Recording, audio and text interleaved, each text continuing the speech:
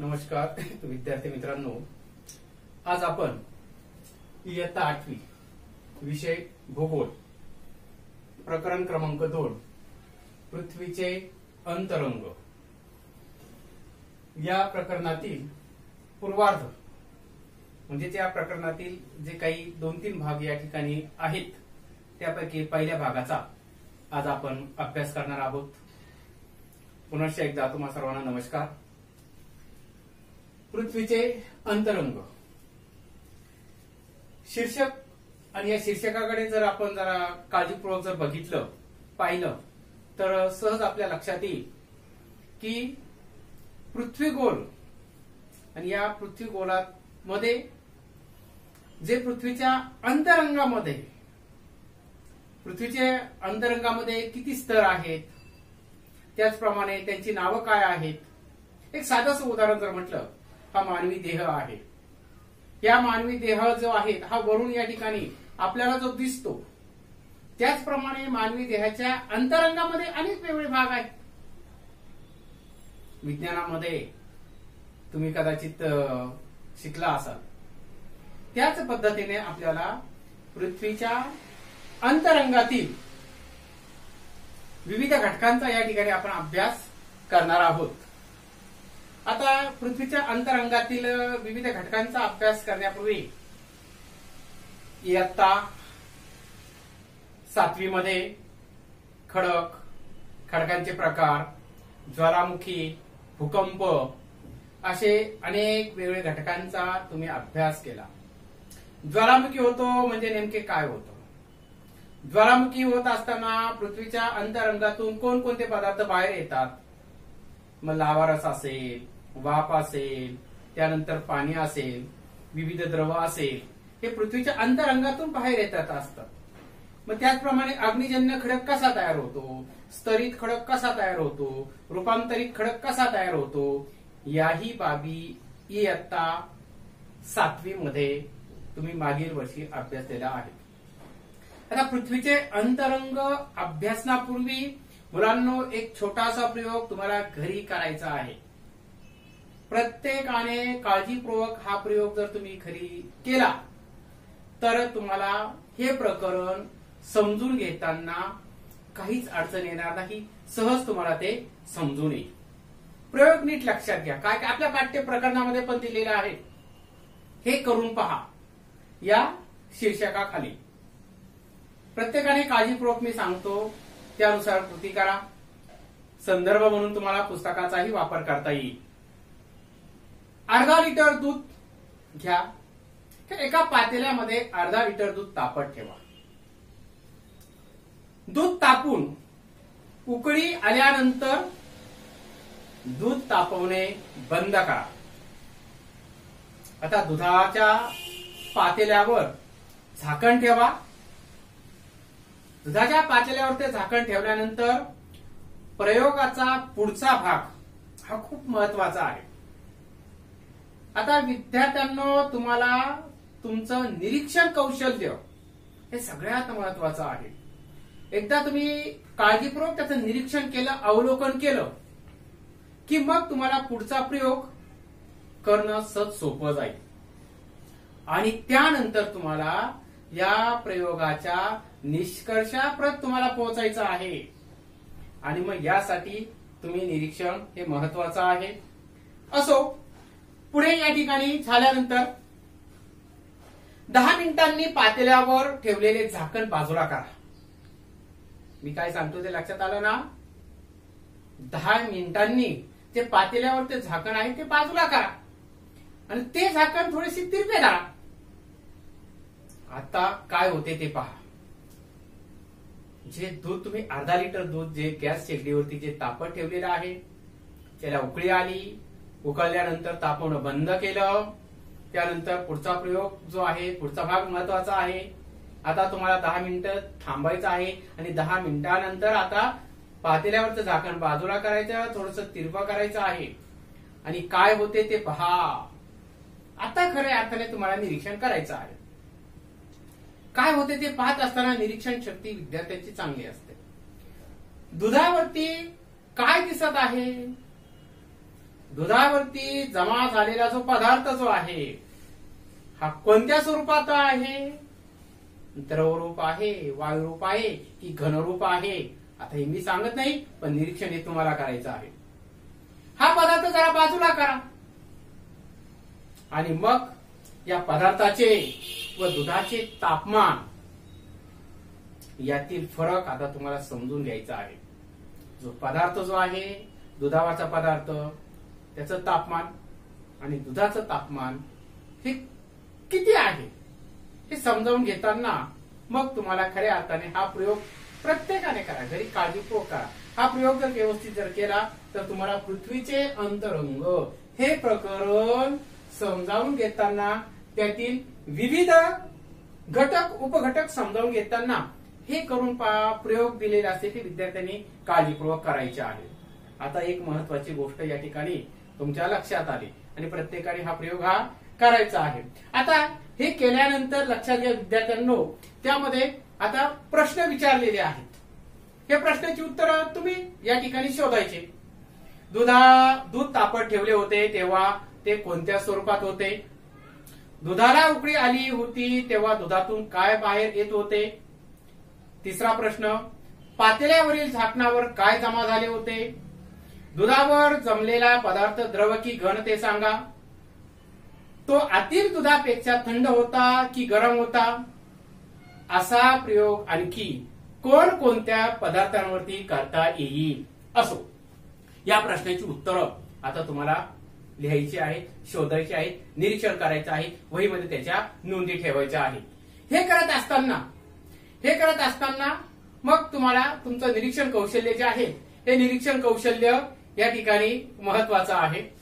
आता हे सर्व करत असताना एक महत्वाची बाब जी आहे ती तुमच्या लक्षात येईल.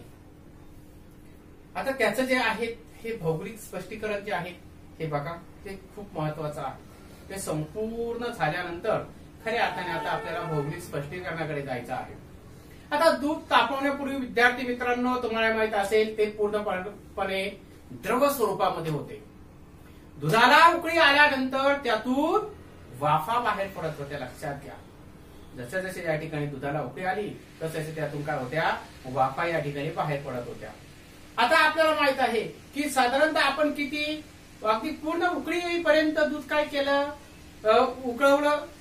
उकळी आल्यानंतर ते आपण था- तापवणं बंद केलं. त्याच्यावरती झाकण ठेवलं. झाकण ठेवल्यानंतर त्यानंतर दहा मिनिटांनी झाकण थोडस तिरपा केलं बघितलं. तर दुधावरती एक असा एक थर एक जाड थर या ठिकाणी घन स्वरूपाचा एक थर तयार झाला. आणि त्यालाच सर्व विद्यार्थ्यांना माहीत असेल दुधावरची ती साय होती. काय होती? दुधावरची असलेली ती साय. दुधापेक्षा दूध हे द्रवरूप होतं पण साय कशी होती? ही घट्ट होती त्याला घन रूप होतं. आणि या साईचं तापमान आणि दुधाचं तापमान आजचं तापमान जे आहे हे जर या ठिकाणी आपण समजावून घेतलं तर तुमच्या सहज लक्षात येईल की साईचं तापमान जे आहे हे साईचं दुधावरचा जो थर होता त्याचं तापमान हे कमी होतं. त्या तुलनेमध्ये दुधाचं आतलं तापमान जे आहे हे जास्त होतं. यावरून मग आपल्या लक्षात येईल की पृथ्वीची निर्मिती होत असताना प्रथम जी पृथ्वी जी ही वायुरूपात होती त्यानंतर तप्त होती. नंतर तिचा बाह्य भाग जो आहे हा प्रथम थंड होत गेला आणि आतील भाग हा तसाच अजून उष्ण आहे. मग भौगोलिक स्पष्टीकरण करत असताना का देत असताना चालू असताना मग तुमच्या आपल्या हे लक्षात आलं पाहिजे. आपल्या हे सगळं आपल्या लक्षात असं येईल की पृथ्वीची निर्मिती सौर जी आहे. या सौर माले बरोबरच चाली. याबाबत शास्त्रज्ञांमध्ये जगातील सर्व शास्त्रज्ञांमध्ये एकमत आहे. सुरुवातीला पृथ्वी उष्ण व वायुरूप गोळ्याच्या स्वरूपामध्ये होती. स्वतःभोवती फिरता फिरता पृथ्वी थंड होत गेली. आणि पृथ्वी थंड होण्याची क्रिया पृष्ठभागापासून पृथ्वीचा जो पृष्ठभाग जो आहे पृष्ठभागापासून केंद्राच्या दिशेत झाल्याने पृथ्वीच्या बाह्य भागास जे भूकवच जे आहेत ते थंड व घन स्वरूप त्यास प्राप्त झाले. हे नीट लक्षात घ्या.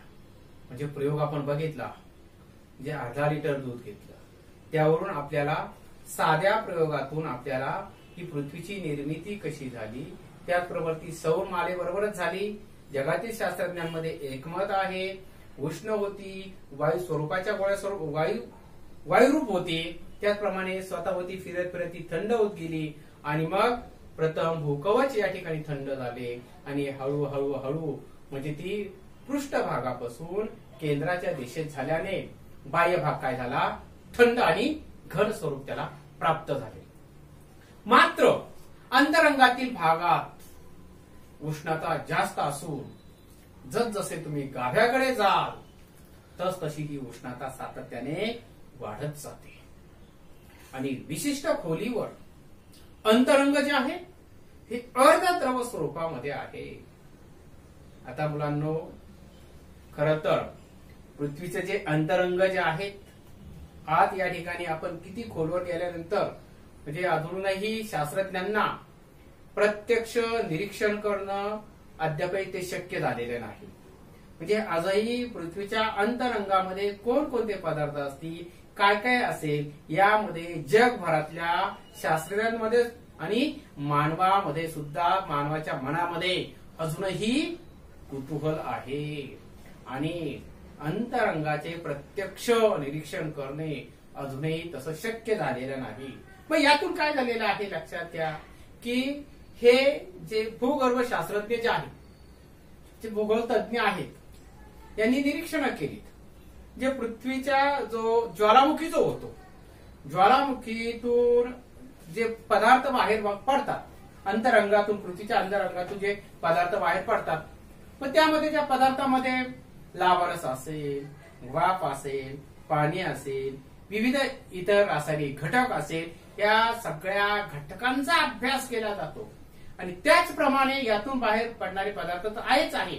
परंतु भूकंप लहरी भूकंप लहरी ज्या आहेत या मागील इयत्तांमध्ये बघितलं तुम्ही. जे प्राथमिक दुय्यम जे आहेत त्याचाही अभ्यास केला जातो. आणि मग या सगळ्या अनुमान आणि निरीक्षण शास्त्रज्ञ भूगर्भ शास्त्रज्ञ यांनी केलेले अनुमान यानुसार मग पृथ्वीच्या अंतरंग हे कसं असेल याविषयी अनुमान काढले जाते. आता यातून मागाशीच तुम्हाला जे सांगितलेलं आहे जे लावरास असेल वाप असेल वायू असेल इत्यादी घटक आढळतात. आता लावारस थंड झाल्यावरती त्यातून काय झालेले आहे? अग्निजन्य खडक तयार झाले. आणि पृथ्वीचे अंतरंगाची रचना समजून घेताना तापमान घनता आणि गुरुत्वाकर्षण बल दाब या घटकांचा अभ्यासही खूप महत्त्वाचा आहे. आणि या घटकांच्या अनुमानावरूनच अंतरंगाची रचना या ठिकाणी समजून घेता आली. आता पुढचा एक महत्त्वाचा भाग जो आहे तो या ठिकाणी आपण घेणार आहोत. तो म्हणजे जरा विचार करा. ही गोष्ट किंवा हे घटक या ठिकाणी आपल्याला तुम्हाला घरी बघायचा आहे अभ्यास करायचा आहे. नेमकी त्यावरती तुम्हाला जे जे काही प्रश्न येतील ते स्वतः वहीमध्ये नोंदवा. साधी गोष्ट आहे त्यामध्ये दिलेलं आहे. किंवा मग शिक्षकांच्या मदतीने हा प्रयोग करायचा आहे जरा विचार करा. आणि दुसरा आहे जरा माहीत आहे का? हा घटक जो आहे आपल्या पृथ्वीची निर्मिती सुमारे चारशे साठ कोटी वर्षांपूर्वी झाली. लक्षात घ्या शब्द जो आहे हा महत्त्वाचा आहे. चारशे साठ कोटी वर्षांपूर्वी. प्रारंभिक अवस्थेमध्ये पृथ्वी वायुरूप होती. उष्णता उत्सर्जन क्रिया होऊन हळूहळू ती थंड होत गेली आणि पृथ्वीला प्रथम द्रवरूप अवस्था प्राप्त झाली. कालांतराने पृथ्वीचा सर्वात बाह्य भाग थंड झाल्याने त्याला घनरूप अवस्था प्राप्त झाली. आणि यालाच आपण भूकवच म्हणून संबोधले जाते. म्हणजे पृथ्वीची जी निर्मिती जी आहे ही चारशे साठ कोटी वर्षांपूर्वी खूप शब्द बघा तेव्हापासून ही पृथ्वी स्वतःभोवती अविरत स्वतःभोवती फिरत आहे. स्वतःभोवती फिरत फिरत ती सूर्याभोवती सुद्धा फिरत आहे. आता आपल्याला पृथ्वीच्या अंतरंगाची जी रचना जी आहेत पृथ्वीच्या अंतरंगाची रचना समजावून घेताना एक प्रयोग दिलेला आहे. विद्यार्थी मित्रांनो हा प्रयोग तुम्हाला सहज घरी सुद्धा करता येईल. तो जो आहे पान आपल्या पाठ्यपुस्तकातील पान क्रमांक दहा यावरती दिलेला आहे. आता हा प्रयोग करतात असं विद्यार्थ्यांनी साधारणतः पाच पाच सहा सहाचे जर गट केले किंवा प्रत्येक विद्यार्थ्याला आता घरी तयार करता येईल. त्यामध्ये लाल पिवळा निळा अशा मातीचे या रंगाच्या मातीचे गोळे घ्या. बाजारातही मिळतात. आणि मग हा लाल रंगाचा गोळा थोडासा मोठा असावा. पिवळ्या रंगाचा गोळा जो आहे तो लाट लाटायचा. लाटून विशिष्ट पद्धतीने लाटल्यानंतर त्यामध्ये आपण कोणत्या रंगाचा जो लाल रंगाचा गोळा त्यामध्ये ठेवा. लाल रंगाचा गोळा त्यामध्ये ठेवायचा. पिवळ्या रंगाचा गोळा लाटून घ्या. तयार झालेल्या पोळीमध्ये ज्याप्रमाणे पुरणपोळी करताना पोळीत पुरण भरतात त्याप्रमाणे लाल रंगाचा गोळा भरा. त्याला घन गोलाचा आकार द्या. आता निळ्या रंगाचा गोळा वरील प्रमाणे लाटून घ्या. या पोळीमध्ये पिवळ्या रंगाचा गोळा भरून याचाही घनगोल तयार करा. आकृती क्रमांक एक दोन तीन चार दिलेला आहे. पान क्रमांक अकरा वरती दिलेला आहे. पान क्रमांक अकरा. वरती दिलेला आहे. त्यानुसार तुम्हाला पृथ्वीचे अंतरंग जाणून घेण्यासाठी ही क्रिया खूप महत्वाची आहे आणि आपल्या पाठ्यपुस्तकातूनही तुम्हाला ही क्रिया करता येईल. असो यानंतर आपल्याला प्रत्यक्ष आता पृथ्वीचे ही क्रिया करत असताना पृथ्वीच्या अंतरंगाचे जे विभाग केलेले आहेत. पृथ्वीच्या अंतरंगाचे तीन भाग पडतात. भूकवच प्रावरण गाभा. भूकवचाचे जे दोन भाग पडलेले आहेत खंडीय कवच आणि महासागरीय कवच. भूकवचाचे जे दोन प्रकार आहेत. त्यानंतर अंतरंगाचा जो दुसरा भाग म्हणजे प्रावरण उच्च प्रावरण आणि निम्न प्रावरण. आणि तिसरा भाग जो आहे गाभा. बाह्य गाभा आणि अंतरगाभा. आता हे समजावून घेताना भूकवच प्रावरण गाभा त्यानंतर खंडीय कवच महासागरीय कवच याच्या व्याख्या याच्या संकल्पना आपण पुढच्या तासिकेला या ठिकाणी आपण समजावून घेणार आहोत. त्यानंतर पृथ्वीच्या अंतरंगाची रचना जी आहे ही आकृतीच्या साह्याने आपण समजावून घेणार आहोत. तुर्त तुम्हाला जो अभ्यासक्रम या ठिकाणी दिले दे- देतो जो आहे अपृथ्वीच्या अंतरंगाची रचना जी आहे. म्हणजेच पृथ्वीचे अंतरंग जाणून घेण्यासाठी करावयाच्या कृतीचे टप्पे जे आहेत पान क्रमांक अकरा. जे टप्पे दिलेले आहेत या टप्प्यानुसार तुम्ही वाचत गेलात निरीक्षण केलं तरी सहज तुम्हाला ही कृती तुम्हाला करता येईल. आणि त्यानंतर हे करून पहा हे करत असताना जो आपण प्रयोग केला अर्धा लिटर दूध तापत ठेवलं आणि ते करत असताना जी तुम्हाला जी प्रश्न जे आहेत त्याखाली जी पाच ते सहा प्रश्न आहेत त्या प्रश्नांची उत्तरं तुम्हाला निरीक्षण करायचं आणि त्यातून त्या प्रश्नांची उत्तरं तुम्हाला द्यायची आहेत. आजपर्यंत आतापर्यंत जे आपण मागील वर्षी जे काही शिकलो त्याचप्रमाणे पृथ्वीचे अंतरंग जे आहे हे पृथ्वीचे अंतरंग त्या अंतरंगाचे जे तीन भाग पडतात त्या तीन भागांची माहिती या ठिकाणी आपण बघितलेली आहे. प्रयोग बघितला आणि पुढच्या तासिकेला प्रत्यक्ष मग आपण या पुढील घटकांचा आपण अभ्यास करणार आहोत. सर्वांनी पुन्हा एकदा पाठ्यपुस्तकाचं निरीक्षण करा ते वाचा काही शंका असेल तर जरूर विचारा. धन्यवाद.